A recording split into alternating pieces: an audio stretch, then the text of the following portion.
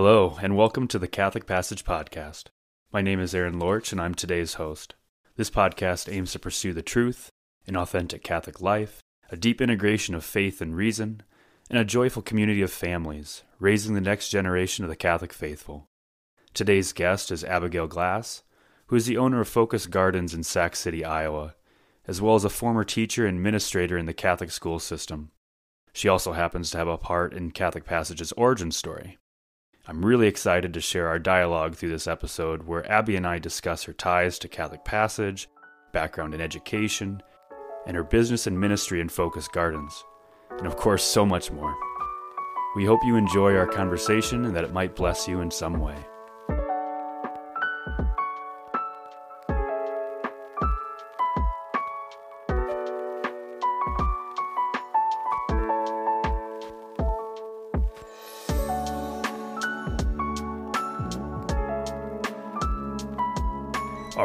Here we go.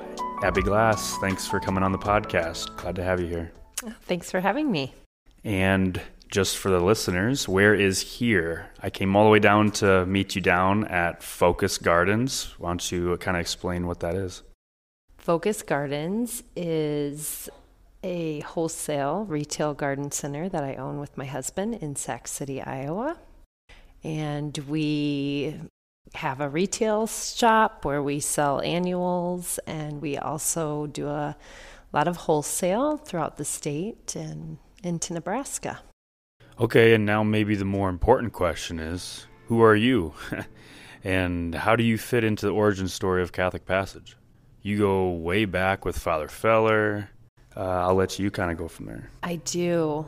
Our paths first crossed at Kuemper, where we were together um, at the same for a few years at the same time. I was teaching and he was chaplain. And I think maybe within the first couple of years after we met, we found that we both had a strong interest in Catholic education.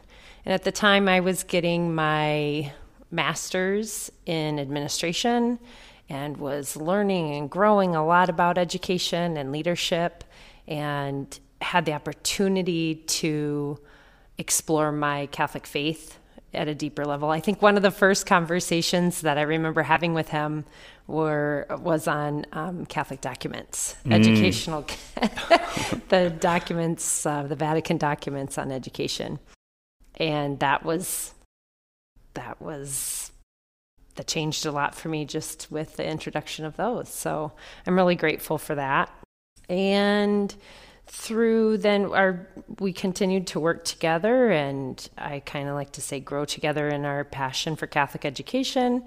Had the opportunity to work together um, well continuing on and even in different places. And now i think even now looking back i could tell you that um, the mission of Catholic Passage is very much a part of the desire of Father Feller to really help support lay people, teachers, parents, to help pass on the faith to their children. Yeah, um, that's always been, I think, a great. That's been very apparent even before Catholic Passage was um, an entity. So, I think it's always been there that mission and um, I've been lucky enough to be able to be a part of that at different levels. Yeah. And even at the very beginning, when he was first kind of trying out ideas and where we go from here, bouncing off things from you, right? I think we've had a conversation or two. yeah. So, and I'm grateful for that because I believe in this mission. I think it's an important thing for me, the formation of well, I think a lot of it roots in my own. You know, I have my own experience. So I see that reflected in Catholic Passage, and I see that mission um, alive in me or in other people, and being a witness to it.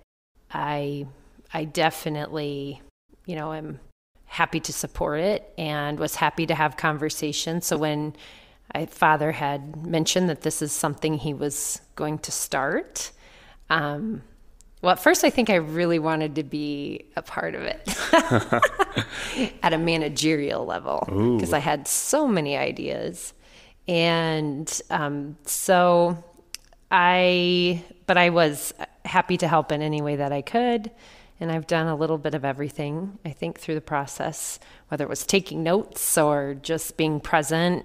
Um, we did a retreat together Why don't you talk about that? It was bloom where you planted, right? Yeah, that was our um, plants and parenting event that we put on last Lent here at Phocas Gardens. And we just made the, oh, we did a comparison of how we grow tens of thousands of different annuals and plants, and they all have different needs and Yep, just like people. just like people. So we made a lot of each session. There were five sessions total, one for every week of Lent, and each one just was supporting parents in how kind of showing again that comparison between raising plants and the differences, but yet the comparisons with children and what we can learn from nature Oh, as yeah. parents. So it was really, it was it was great.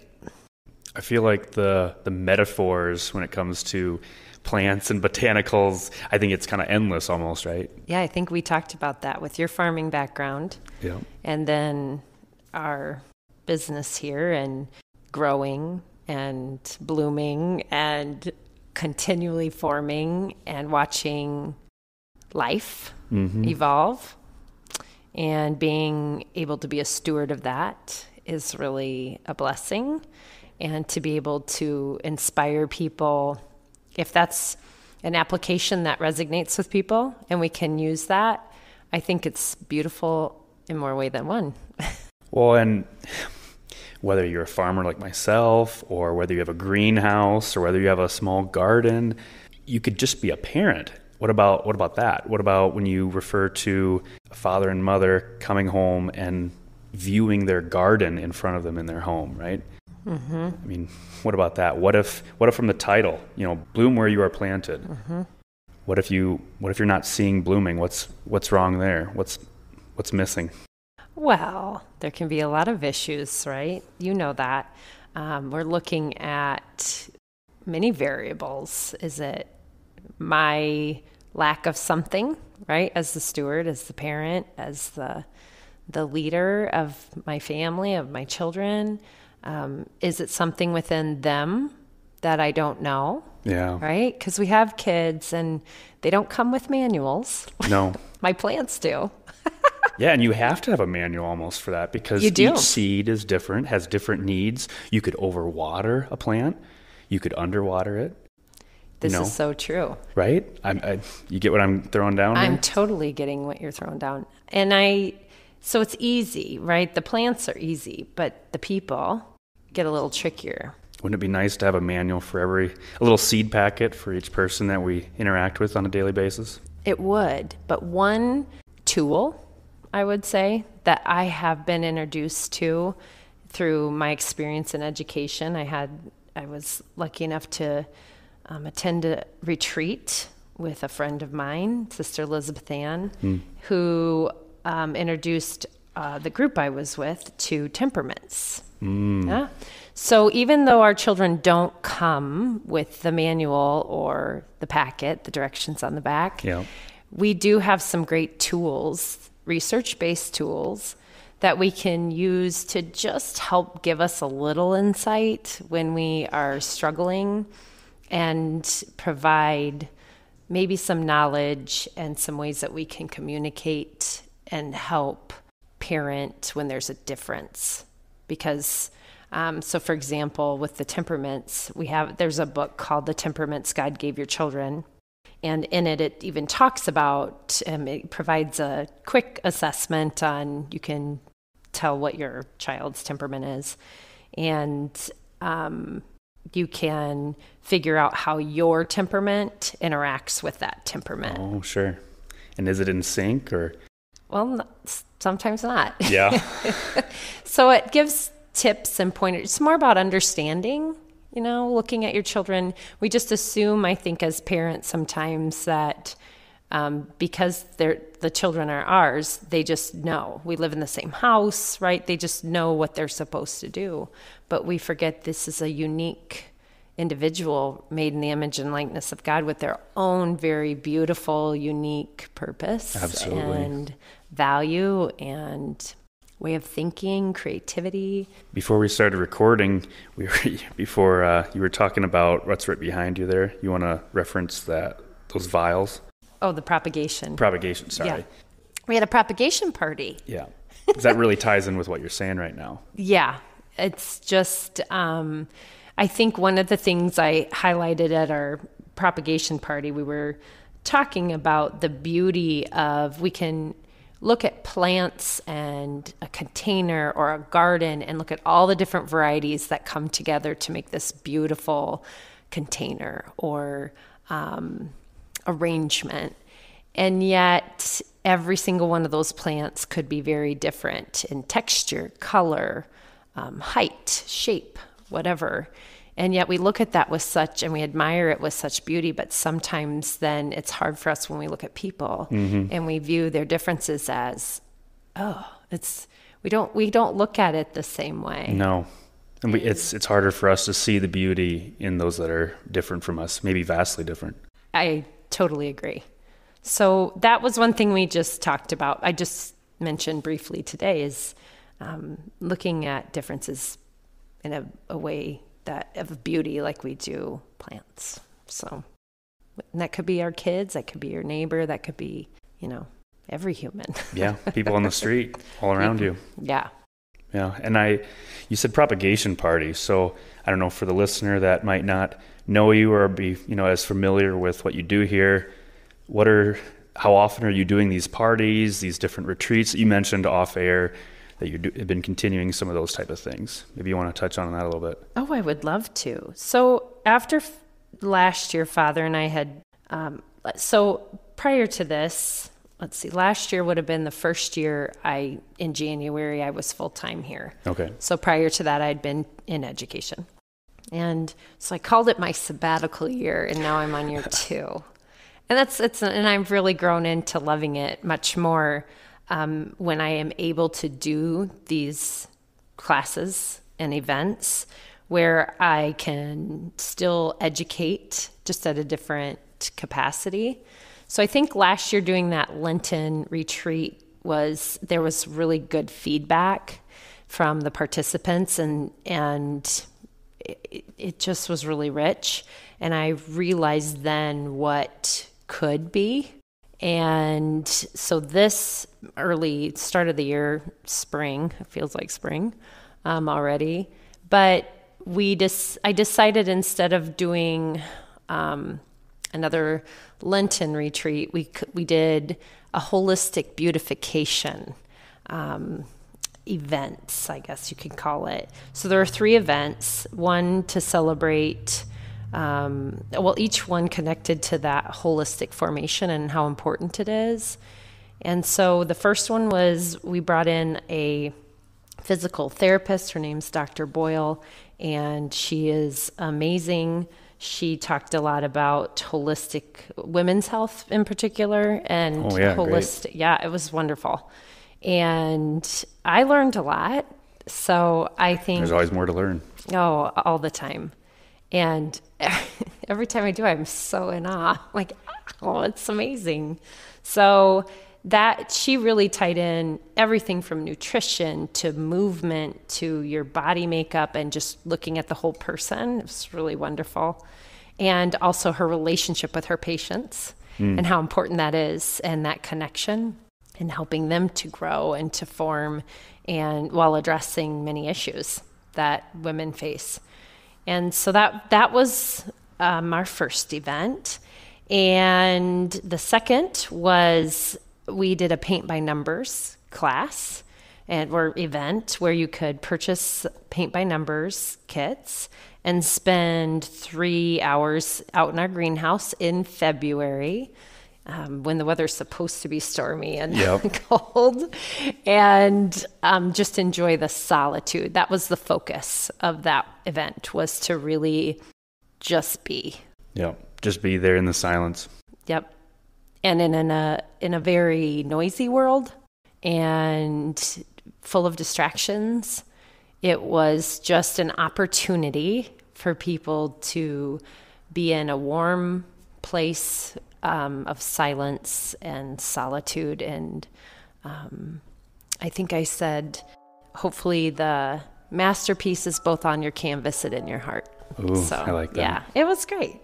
So great. I, I hope it's just these small experiences that help make something big in somebody's life.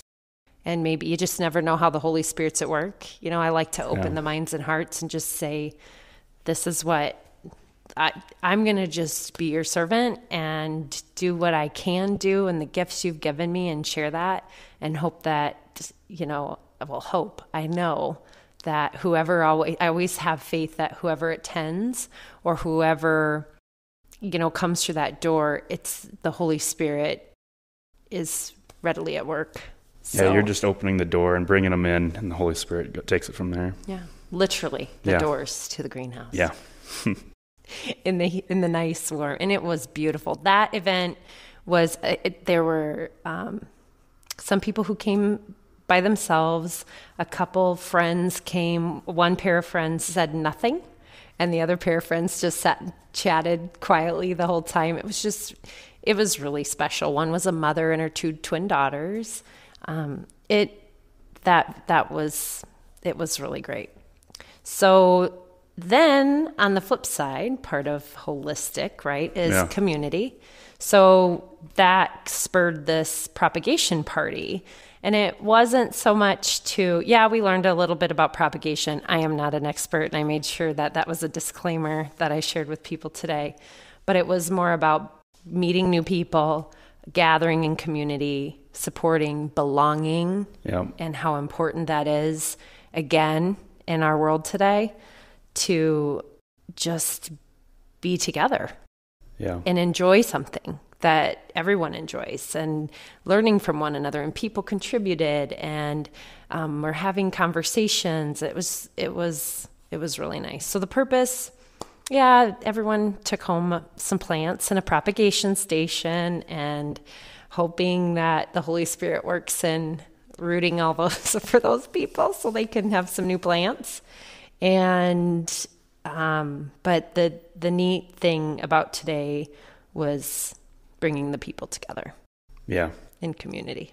Yeah, off air before we started recording, we were talking about you know community is in God, mm-hmm. and you were you know mentioning about the the Henri Nouwen, you know, and that was awesome literature that you've read from him. I don't know if you want to share any of that or not. Or we could go a whole podcast episode. Oh, that, oh, it's one of my favorite books. You should see the tabs I have in that.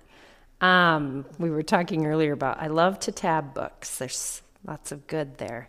Um, there's a quote in that book. It's called Community, and it's a collection of a lot of his works focused around that topic of building community.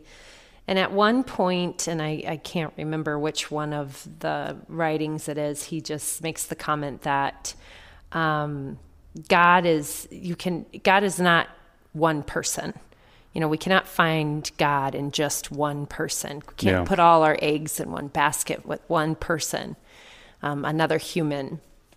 But God is in all of us. Yeah. You know, made in his image and likeness. So all of us together to come into community, then we get these we get these beautiful pieces.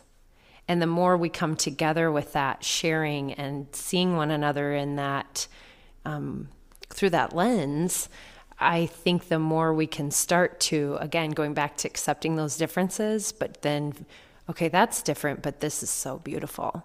And I think when we get people together in a community, it just highlights it, kind of like those plants in the planter, right? Yeah.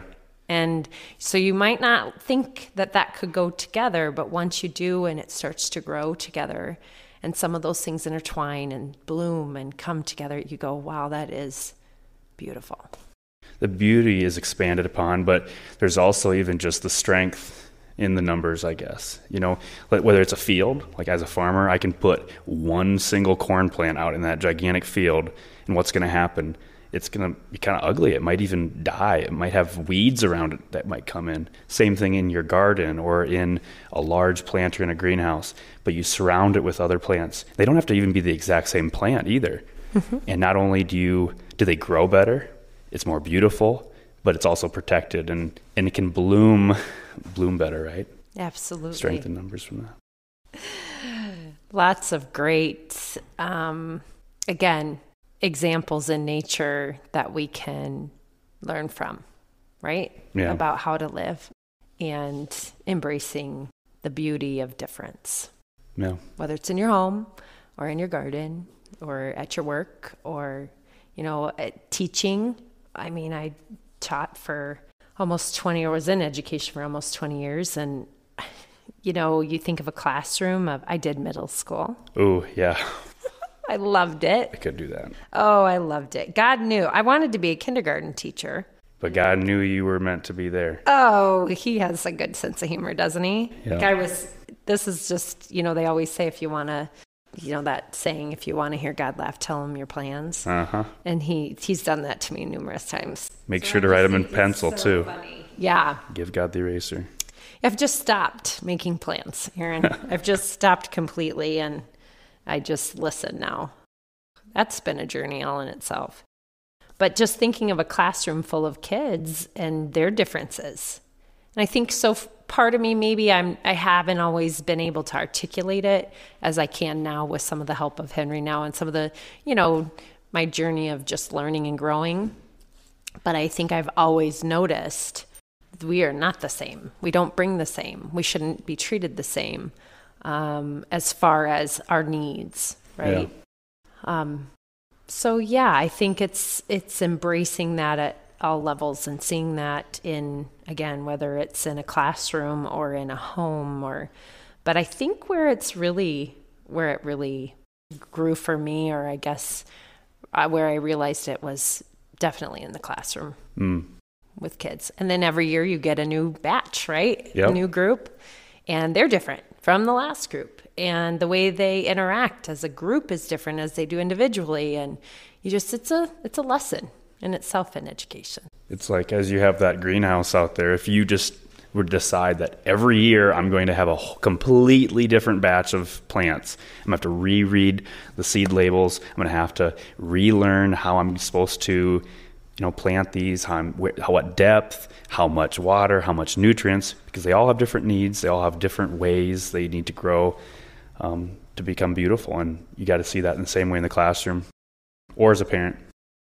Yeah, I'm going to shift a little bit, Aaron, with that and go to the education because this is you know, near and dear to my heart. And I can't, I can't say enough how important relationships are. Yes. In the classroom I think that's where you start to learn their instructions that they have that come with them and making sure that you take the time. Sometimes in education, we are so content minded and um, we have these objectives and these standards we have to meet. We have all these things to do. And so we do, and we don't give ourselves that time to really help um, build relationships. I know now there's a lot more emphasis on that. You yeah. hear that a lot in our world, and, yeah. and I'm glad that there's um, a conversation started about that, and there's much more evidence and research to to show that how important it is. But I think that goes back to our community conversation, right? And our holistic awareness, and that we these aren't just students in your desks or in your seat. These are human beings who um, we have the opportunity to help form for a very short time in their life. Yeah. And it's special. And so I think if you look at it through that lens and knowing that it's not going to be perfect, they're not going to be perfect, but you have the opportunity to get to know them and, you know, recognize the gifts that God gave them. Yeah. And help to support them in that. That's pretty amazing. It is. Yeah, it's a it's an honor. It's been an honor. Yeah. To be able to be a part of that in somebody's life. So, yeah. When I grew up in our small town public school, I don't think that at that time, and I'm not even that old, but I don't remember feeling that same level of importance put on and maybe that was from my perspective as a student too at, at that age. Maybe it was being thought of, but I did, my eyes were opened when I saw through my wife in the classroom, like, oh my gosh, she's not just it's not just a checklist of I got to teach the A, B, C's, I got to teach one, two, threes. This little checklist, it's oh my gosh, she's she is building this relationship with them, and it's not just the the job of the guidance counselor, if you will, to to make a relationship with a student. It's every single one of those staff members, you know, and it's amazing for me to see how close she is with some of these these kids. Like they see her as like another parental figure in a sense, but also as a friend, mm-hmm. maybe even more so, you know, that way.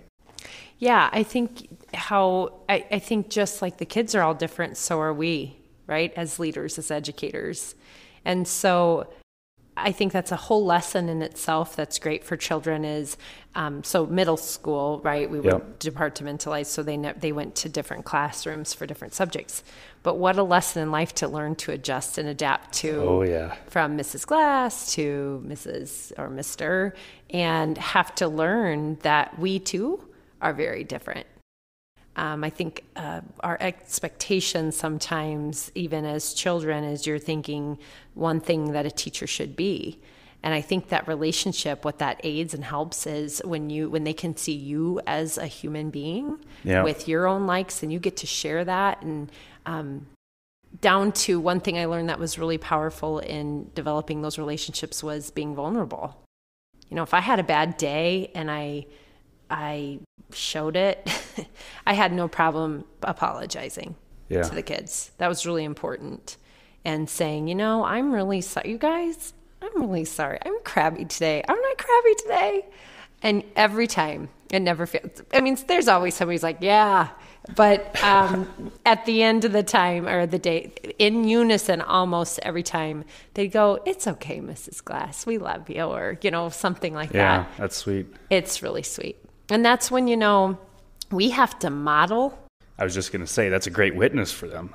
We have to. And there's so much power in that or, you know, influence in in that modeling, right? So yeah. modeling your vulnerability um, appropriately, right? Of course, of course. um, so in in the context that's appropriate for your for your relationship with the children, but yeah, I think the more that we can do that for them, the more then you build the trust. And with appropriate boundaries, they also start to look at and learn about love. Yeah. Yeah. And that it's not always about letting you do whatever you want. I'm not gonna, you know, I'm going to push you. Um, I'm, I'm going to have these expectations from you. And even though I think people might say I have a high tolerance, and I really do. I'm not too strict, I guess. I just, I never really felt like I had to be. Um, and I like communication and I like my busy classroom, and especially when they're on task, right? And completing things. But it, it can become very special. And then you watch them not only believe in this culture you're creating in the classroom, but believing in themselves, believing in what they're capable of being able to do. And I don't know, holistically thinking about formation, it becomes all encompassing, right? Yeah. I was just thinking whether if you're not a teacher, even if you're just a parent, and you look at, okay, how can I be a great witness for my kids? And so they don't just see me as the parent it's like that title like you were talking about same way with the teacher you know a young kid might be coming to school every single day and looking oh they're not even like regular people in a sense you know they're not a human. They don't have their ups and downs. They don't have their weaknesses. They don't have they probably don't even have interest. All they care about is school right? They're just a teacher. And if you get that in your mind i mean for a different conversation how do we look at priests that way right? Sure. Um, you know the tradition of like okay they're just a priest. They're not even like a regular person but but that's a whole nother conversation. But like with as a parent these kids are looking at their mom and dad. They're just mom they're just dad mm-hmm. no they are humans just like you they are individuals and, and how do you witness that and, and allow yourself to be vulnerable and share yourself again to within reason but it can be a great witness i i have done that i with our own kids And I, I've had struggles um, in the past couple of years, things that I have just personal, a personal journey. And I know I ch- it changed who I had been, you know, maybe prior to them as this, um, oh, what do you want to say? Your stereotypical parent, right? Like what you're kind of talking about. Okay, yeah. And so I was probably just mom or whatever. And I think through this process of my own personal journey and learning, growing, and lots of healing, and, which I'm grateful for, I learned how important it is to model all the things that you just said to your children. And I remember a specific time I was um, with my two girls. We have four children, so it was, but the two boys and two girls. And I was with our girls, who are only two years apart. And I I can't remember how the conversation started, but I, well, I probably had a, a low moment and took it out on them or something. But, and I remember, but I do remember how important this is. And again, this is kind of, I felt the Holy Spirit at work because I had ran across on social media a post about this father who had, um, he didn't apologize to his kids, he asked them for forgiveness. Mm. And I remember going, okay. and so I think when that event had happened, I remember just that coming back to me. And so I remember looking at both the girls in their face and I said, Will you, I, I about what had ever happened, I said, you know, I know I have not been um, quite the same, and you know, mom has been struggling about this. And I go, but can you forgive me? And will you help me? And um, you know, they of course both said yes, but there was, it was a moment like mm. full of a lot of, um, mm, it was just something powerful. Yeah. And so from, and after I was able to be vulnerable enough to do that with, you know, share that with my children and experience the moment, then it has been easier to do moving forward. Because it's not, you know, we, we have this, idea that we are supposed to know everything and help them and yeah. um, but going back to community our homes are communities right? Yeah. Our homes are these little cultures and not that it's their my expectation that they take care of their mother but i want them to also they're already there witnessing everything, right? Yeah. They're knowing what's going on. But are they on the outside just looking at it or are you going to invite them in exactly. to your heart? Exactly. You know, and, and I was just thinking the difference there when you say, Oh, I'm sorry about this. It seems like there's a distance there. You might say to someone, Oh, sorry, I stubbed your toe. I'm sorry I did this. I'm sorry I did that. No, can you forgive mm-hmm. me? Can you help me out? I'm inviting you in, and it's more relational that way and restorative. Uh, yeah, and there you go. Boom. And that's and that that's another area that we can have another podcast about because that'll take a whole a whole episode. But restorative, engaging in, you know, I see I'm I'm a, a big fan of restorative practices and and have been gone to different trainings and I see how powerful that is, but I also watch um, the spirit of Christ in those practices of restoring and repairing and healing and what it can mean, those words of forgiveness and for one another, right? To yeah. model Christ in those moments where we get to say, Will you forgive me? And listen. And I think there's so much misunderstanding in when there's um, any kind of conflict. And we sometimes don't have the opportunity to stop and have those conversations to say, I, I need you to hear me so that you can help I, you can understand. You don't have to agree with me but i, I just need you to hear me. Mm-hmm. and i don't i think we just are so busy that we don't give those opportunities to have those conversations and they're hard. Yeah. And they take practice and they're not easy. But i think if you are lucky enough or blessed enough to start to build that culture either within your family or with friends it the payoff in the end is is is truly love to love because if you can help somebody through those moments and and be there to listen and try to understand the best you can and look at our worldview right of being broken and mm. fallen the parts of the fall that that we all um, are affected by we need to help each other through that yeah it's easy to judge. It's easy to place blame and to just move on. Um, you know, going back to and even in education, you know, how many times do we either suspend a kid or give them a detention, but we never talk about it. Yeah. It's just like, this is the consequence, you're done. And then I think that's where the shame starts to, you know, fester. And the, um, instead of it become a form, becoming a formational opportunity where we can say, hey, yes, this is part of, this is part of our story, right? Our worldview. This is just part of, of how we are as human beings. But I'm to, ha- it, it doesn't define you. Um, you are good. And this is just part of that and we're going to help you. We're going to support you through this. Yeah. How much good does the detention do compared to if you're focusing more on what's going to come after from that if we can form? Well, and I always tell people I'm close to when I have these conversations because I like to talk about this topic. Um, it's easy to give a detention. Yes. Yeah. That's easy.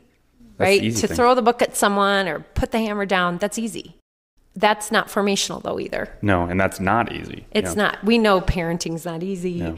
Um, teaching is not easy. Anytime we are engaging in formation, it is so hard. And but you can it can be an easy job if we just say here's here's here's what's going to happen and that's it and moving on. And I think when I went to school, that was very much and even before oh, it's been happening for a long time. um, it's and it's it's unfortunately kind of the institution now. This is just what's been accepted, and I guess that's where some of my love for Catholic education has really developed was watching this opportunity that we have in Catholic schools to really promote holistic formation mm. and put the faith first and to say this is our truth though. This is this is who we are. This isn't just something that's a buzzword right now restorative practices. This is this is deeper than that. This is we can find the goodness in that practice but we can tie that and connect that back to our truth. Yeah. Into our faith.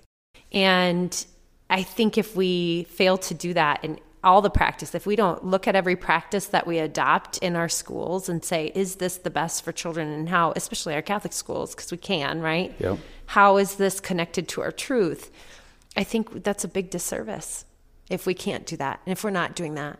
Because, you know, it, it's like any other, I don't know, vocation or out there or, you know, whatever. Um, there's buzzword there's always things changing and evolving. What's the new right? What's the up and coming? And i don't think they're bad.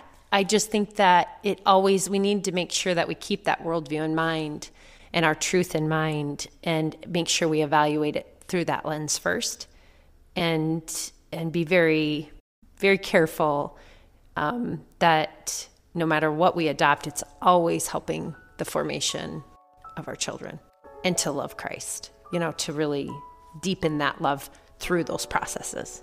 Yeah.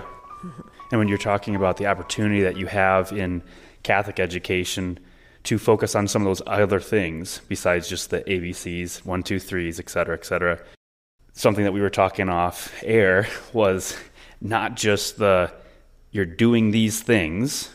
These are the this is the checklist or the things we need to teach you. But what about the why behind it, right? And I think that's where you can go deep and you can get into the why. But I think the checklist and the living and the model that can happen then in the public school too. I mean, yes. I don't. I mean, our our children go to a public school currently, and so I just really feel that it can be it, this same principle can be for all children in any educational system.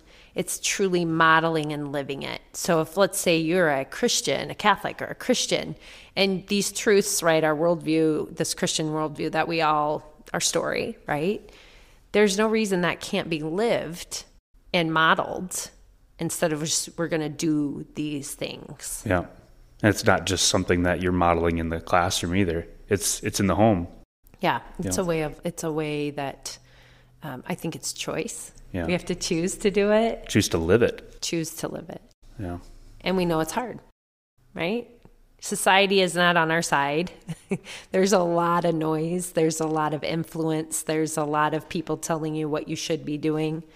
Um, And so, to, I just had this conversation with a good friend um, how anymore you really feel like you're um, swimming against the current when you're trying to, when you have this worldview in mind, right? You're looking through this lens at the, at life. And as parents, it's, it's not the norm. And, um, I think we we both had just said it's okay to say no to some things that mm. aren't in alignment. Yeah. Um, uh, I, I mean, I could go into that all night too about parenting, and and I'm not. It has nothing to do with anyone else or judgment on what other people choose to do. It's about what's important and valued in our home. Yeah. And I think sometimes that's a misconception when you start to go against the grain that people think, oh, who are they? Right? Or yeah. what are they doing? When, and if you're, if you're strong enough and if you're faith filled enough to know that um, I'm confident in what we're doing, it gets easier. Yeah. It gets easier to just make those decisions. And, and when your little family community is strong and, and that you start to watch that formation working in all of you, then you, you it becomes it just becomes your norm. Yeah. And and I have I have watched that in our family and that is something I'm really proud of that our husband and I have my husband and I have done with our kids. And I, I see it in our kids. And it hasn't been in big things. It's just been in little things, little changes, little things we've adopted or decided to do or not to do. It's there's no there's no book for this either, right? Yeah. so I th- I'm really I mean on the this is just one very small example and, and, probably lots of families do this. So I don't know that it's any special uh, you know special, but when I take the kids to school every morning we pray together. We mm. have about a 2 minute drive. So we get to I mean it's full of spontaneous prayer. I always lead it and I remember when we first started this because this was a different. This was different because yeah. I have never. I mean, we we've drove in the car together before going to school, um, but this is different. That I know I'm dropping them. I'm not staying. I'm dropping them off. So my mindset, in all fairness, is in a different place than I'm rushing to work. Right to yeah, do these sure. things. So that's a blessing in itself. But we just we do we pray for their peers and we pray for um, learning and growing into who God made them to be, that they get to discover their gifts and, and that the people around them, their teachers and their peers, help aid in that. And, and we pray for just very quickly, and then we always end with, you know, a rote prayer. So the Our Father, the Hail Mary. And I remember when we first started this, they were kind of like, oh, you know, and this was my kids. This is just, you know, a few months ago to the point where now, as soon as they, okay, let's pray, and they all will immediately get ready. Mm. Say, you know, we do the sign of the cross together now in unison. Anymore. They're not doing the groans anymore. So it comes. You just have to keep going. And um, again, that takes a couple minutes. Yeah. And we don't, and you know what? I don't remember every time. So I'm not superwoman. I did, I don't, we don't, sometimes I, sometimes we are yelling on the way on the way to school and somebody's upset. That's life, right? That's real. That's life. And so that happens too. But when we have those moments where we get to where that happens and we engage in prayer just on our way to school, two minutes, it's pretty special. Yeah, I can imagine. Mm-hmm. It's a beautiful witness for them too, you know, saying, hey, this is how we're starting our day. Mm-hmm. You know, right before we're going to school, but we're going to begin with this. Mm-hmm. And, and, a lot of gratitude. A lot of gratitude. We always started off with gratitude. So the, the very first part is thanking God for this beautiful day and the sunshine. We've had a lot of it. so it's so good and um, makes us feel good. So there's been a lot of gratitude. So I think that's important too. But yeah, it's been pretty, pretty awesome.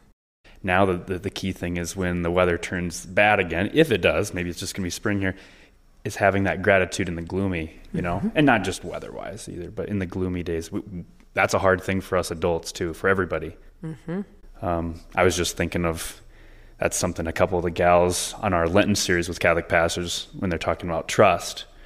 Um, my wife actually was one of them. She is talking about in her video that hey, you know, when the weather's so nice out, and and even in my in my life, in my heart, uh, it's nice and sunny, it's so much easier to just say, "Hey, I'm I'm super thankful for all this stuff." But what about when we're in the doldrums and not going into that, but when we have you've spoken on some of that stuff too. When you're going through the lows of that roller coaster up and down, far, far, far from those highs, you don't have a, a bird's eye view anymore up at the card at the top. You're not looking out there and seeing all the beauty out there. You're down at the bottom and you don't even know if you can get back up. What about having gratitude at that point? You know? I read, well, I've had some of those times, Yeah. Aaron. and I, I, I worked really hard through it and still, still do. And I think the one thing, one thing that stuck to me, and I, I think this is really powerful. Well, two things that had, that I've experienced. One was I had read somewhere that somebody said, you have to choose joy. it's a choice. Yeah. You have to choose it. And I think that's where the practice of gratitude. So then I'm going, okay, well, how do I do that when I'm here? Yep. And it is. It's it's a practice. It's I think sometimes with our faith we just assume that you you watch other people who have it and you go, how do they get that? You know, you go, how do they have that? I remember meeting a very young woman. This was just a couple years ago in her very early 20s, and I was in awe of her faith. I thought, How do was- I get that? yeah, and I'm 20 years older than her. And she seemed to have it all figured out. And after listening to her story, it wasn't. You know, it, she she she was definitely much further along than I was in my early 20s.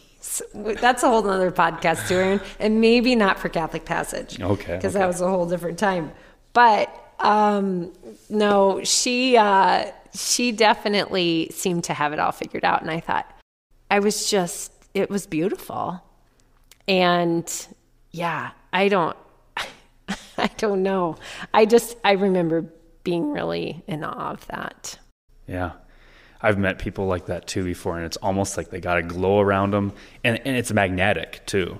Like they draw you to them, they draw other people around them. It's like this magnetic force, and you just can't help smiling when they're smiling, enjoying life a little more. You know, you're wondering, how do I get that Yeah. glow? You know, Yeah. my skin doesn't look that good. I don't have a glow coming off my skin like that. Well, how do I get this? What are they using? You know? And I think that's we that can be I I say do that with caution, Yeah, right? Exactly. because my story is still my story and my feelings just like you know when you said the, the women on the for your lenten thing Lenten we're talking series, yeah. about that one really important thing that i've learned is that you're not going to run away from those feelings they're still going to be there. there.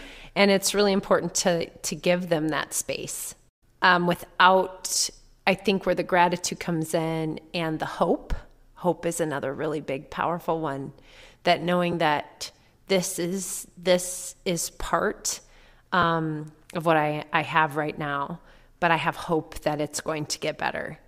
And i think and i'm i i can admit there were some times that things that i was like it's never going to get better. It's hopeless. And it felt that way. And i think i had to learn to give myself not shame myself for feeling that way to recognize how normal that was to feel that way. Yeah.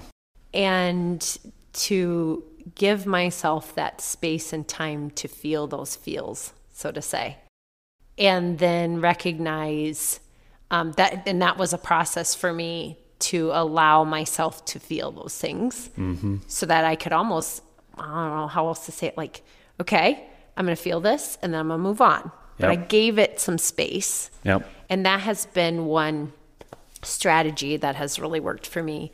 And then that helps too, because you do. Then eventually you come out of it and you go, okay, yeah, things do get better. Things are better. And you you slow down a little bit and you see that that hope that you had, you start to see that in the things around you Yep.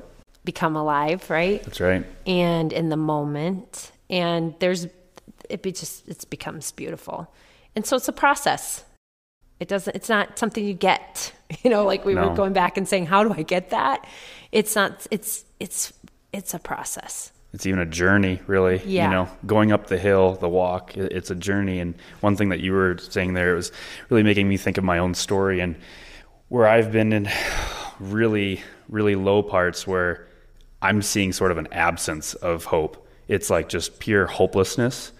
And then I'm having all these other feelings and having to recognize eventually where are they coming from? Where are those feelings of frustration, anger, all the hurt feelings, whatever have you, the despair? Mm-hmm. Where are they coming from? And then that little glimmer of hope that I can see there, the you know, the little light peeking past the crack of the door that I can open up. Where is that hope coming from? Who is the source of our hope, right? Mm-hmm. Re- reminding yourself of that. Yeah. And I think for me, uh, part of my journey, and going back to that Henri Nouwen book about God, right? Not one person can be that for you. So we talk about being attached to things and and um, how we can become so. I mean, my relationship with my mother was. I, I mean, I had a really good relationship with her, and she passed away, and I recognized how much I depended on her, mm. right? And which is healthy. We, you, it's great to have a great parent, but when they're gone, and you feel kind of, you start to those feelings of you kind of go, wait a minute, now what? Now what happens? And I don't know that it happened right away, but when when the waters were troubled in my life and I recognized I didn't have her anymore, it just it kind of upset my my inner being, right? And I didn't know what to do. And and so I think it was through a lot of a lot of events and recognizing the one person I wasn't really going to who I really needed to that could give me the most was God. Yeah. And that that was a journey. Yeah. Still is. I mean, I'm I'm grateful that I got there and that I know now, but even looking back along the course of my life, I just think he has always been there. Then it became clear once I've, you know, now that I'm here and I recognize how much he works and how much he loves me, and um, how much when I receive that I can love other people. But watching how that's been a part of my life this whole, like forever, and I can look back to certain events and go, "How did I get through that? Yeah. how did how am I where I'm at today?" And His graces have always been there. It was me who needed to get there, yeah. right? It was it was finally and it's not that I never wanted it or didn't desire it, but I had to learn and grow and I had to be intentional about it. So when we talk about forming as parents and as people or as educators or whatever to be able to be there to help others, I think it's it's really focusing on you as an individual to receive that that love first. Yeah and recognize that you are good and you are beloved. And that always puts a smile on my face to say that and to really feel that. It's one thing to just say it, and it's another thing to feel it and believe it. And I think sometimes we're our, own worst enemies, right? Yeah. In that in that process. And being affected by the fall and our wounds and our brokenness and and that of others too that have affected us.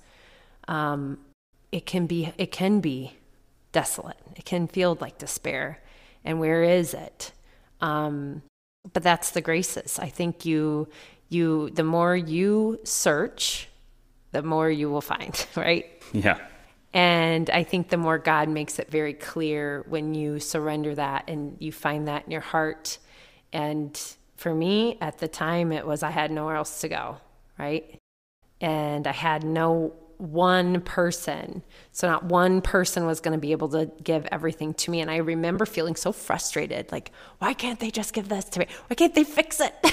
why can't they help me? And because they can't. They couldn't.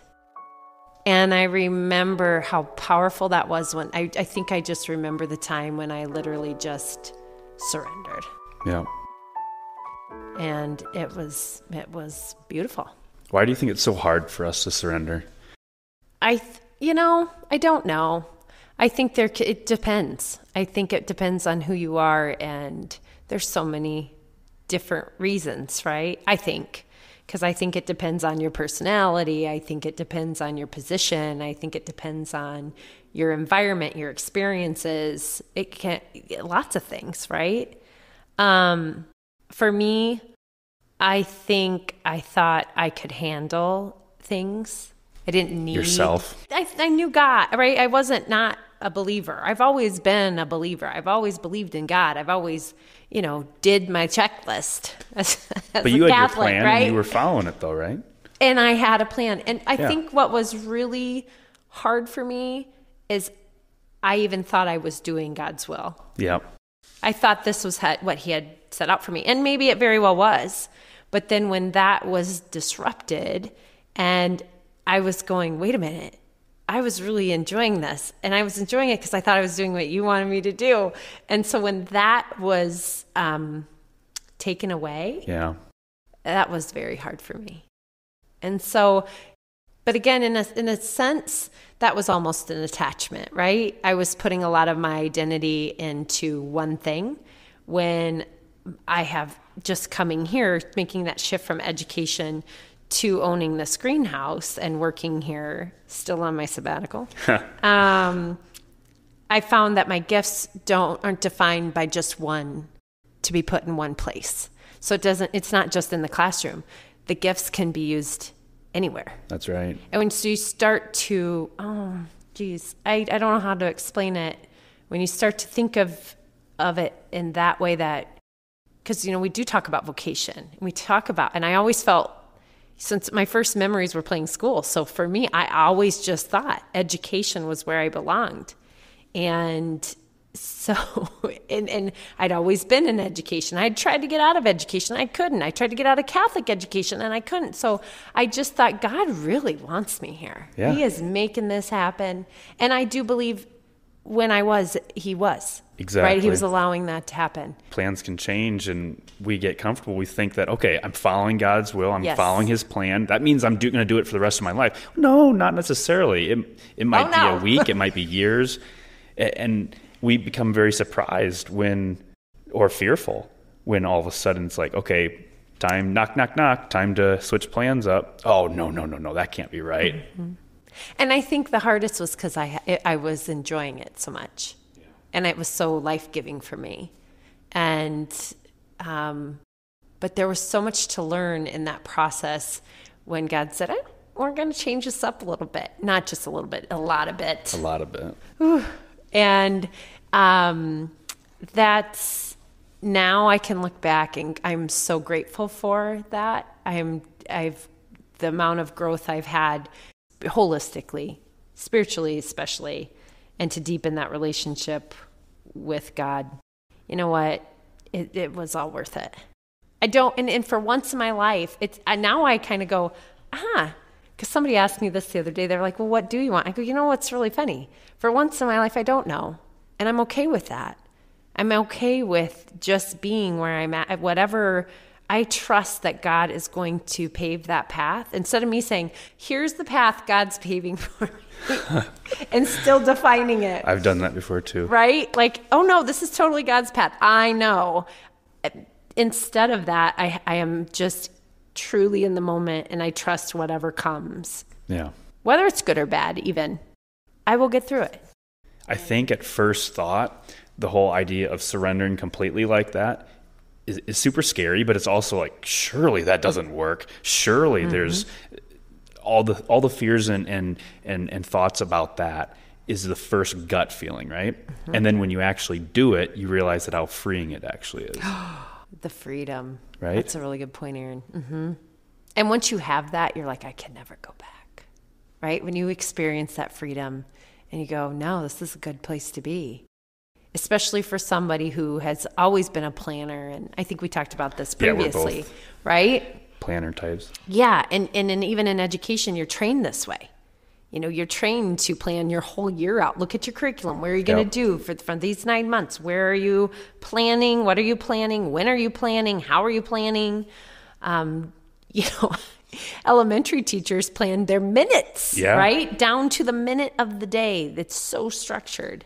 Except when you leave the classroom, all of a sudden life says, eh, eh, you can't do that. Yeah.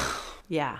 And it's thrown me into a lot of things that have made me uncomfortable, roles even here, you know, that I never have done before. Sure. And I'm a learner, thank goodness. So I I mean I've learned it, but it's been hard. And you know, I but I'm I'm grateful for those experiences too and whatever however God's allowing this to happen and me to grow in these areas I I just know I trust that there's something ahead that it will that where I need to apply it or use it or whatever. Or maybe it's not. Maybe it's just in this moment. And maybe I'll be back in education someday. I don't know but none of that is as worrisome to me Yeah. or um, obsessive as maybe it was Because you've allowed that, you've let that go. You have that freedom now. for sure. Yeah. Yeah, it's a good place to be.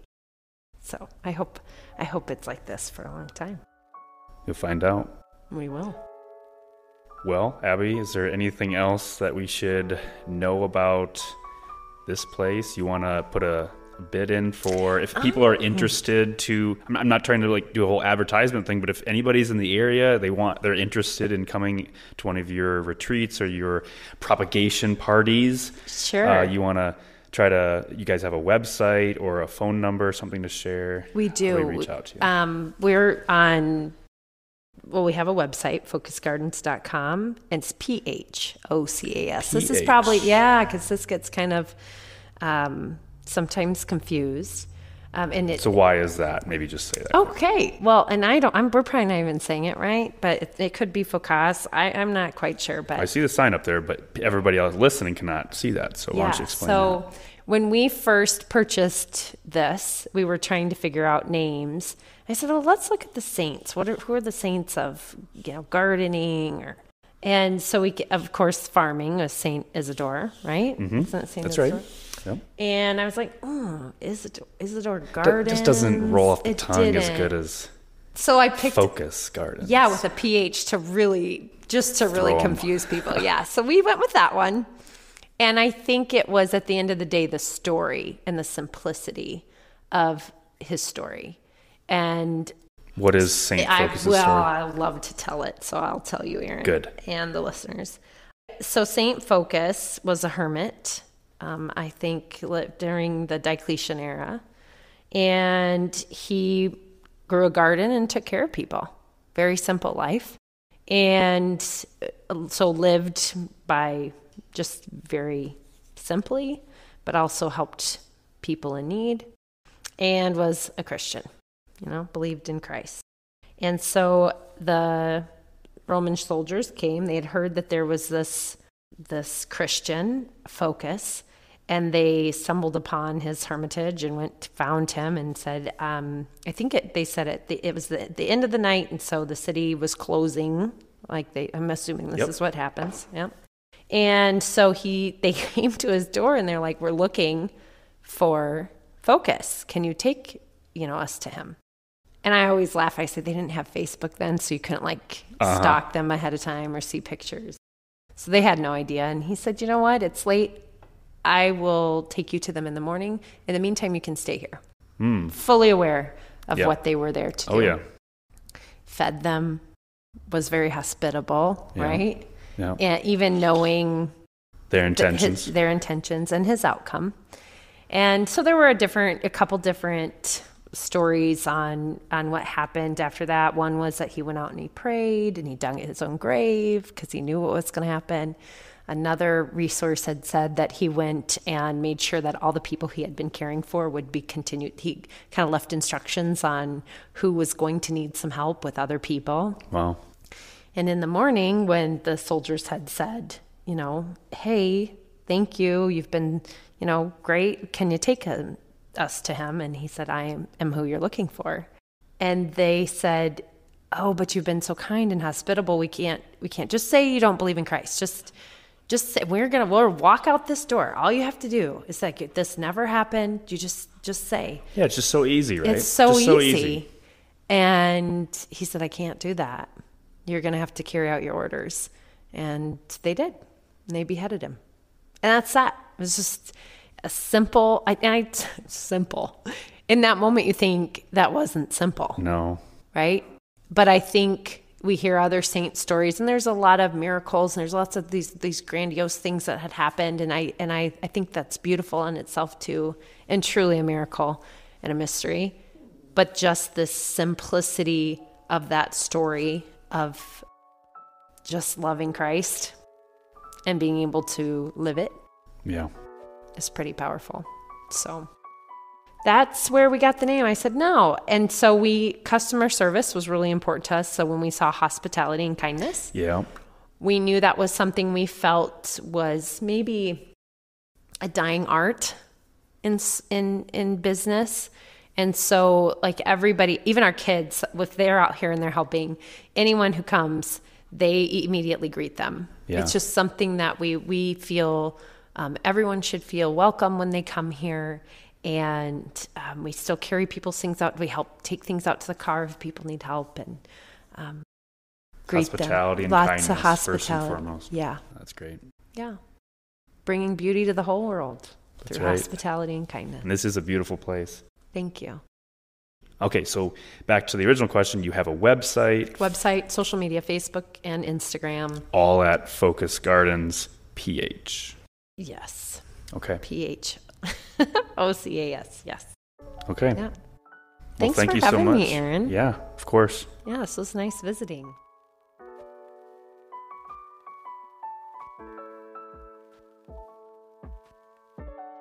Thank you for joining us for this episode of the Catholic Passage Podcast, and we hope that it blesses you. Please check out our show notes for a reflection takeaway, as well as more info on Catholic Passage. We aim to support parents and educators as they pass on the Catholic faith and way of life to their children and students. To find out more about what we offer, or how you might collaborate with us, visit CatholicPassage.com.